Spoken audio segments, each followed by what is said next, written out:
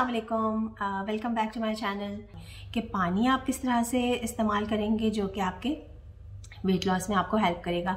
जैसे कि मैं हमेशा आपसे रिक्वेस्ट करती हूँ कि पानी का इस्तेमाल आप ऐसे करेंगे कि आपने आ, तीन लीटर पानी जो है वो डेली रिक्वायरमेंट होती है आ, आ, पीने की एक बॉडी के लिए क्योंकि हमारा 75 टू 80 परसेंट हमारी बॉडी जो है वो पानी पर मुश्तमिल है पानी से बनी हुई है ठीक है?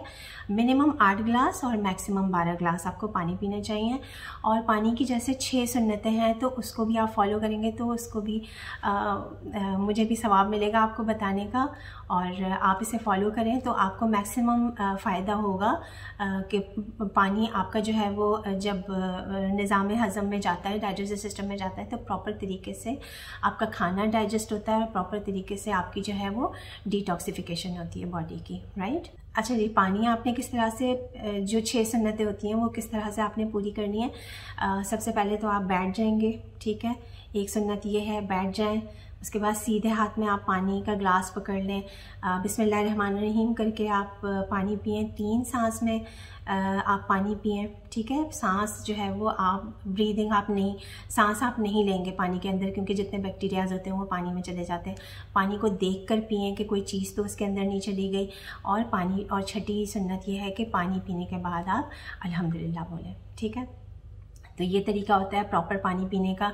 आप एकदम से जो चार से पाँच ग्लास एट ए टाइम पीते हैं तो उस, ऐसे पानी पीने का कोई फ़ायदा नहीं होता।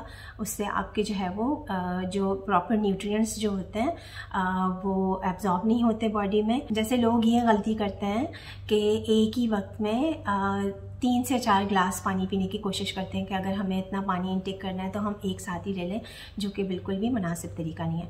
खाना खाने से पहले आपने पानी पीना है और खाना खाने के बाद आपने पानी नहीं पीना है ठीक है? अदरवाइज़ आपका जो खाना होता है वो डाइल्यूट हो जाता है और सही तरीके से हज़म नहीं होता। अच्छा ये तीनों आ, ये तीन रूल्स जो मैंने आपके साथ डिस्कस किए हैं ये आपने कंसिस्टेंसी के साथ करने हैं ठीक है? फोकस्ड होके करने हैं और आप पेशेंस रखें। ठीक है सब्र से काम लें परसिस्टेंसी के साथ करें पेशेंस के साथ करें तो आपको ज़रूर रिजल्ट्स मिलेंगे। एटलीस्ट वन मंथ आप अपनी बॉडी को दें तो आपको प्रॉपर रिजल्ट्स मिलेंगे ठीक है? आ, तो आई होप कि ये वीडियो आप लोगों के लिए हेल्पफुल रही हो। नेक्स्ट वीडियो तक के लिए यार।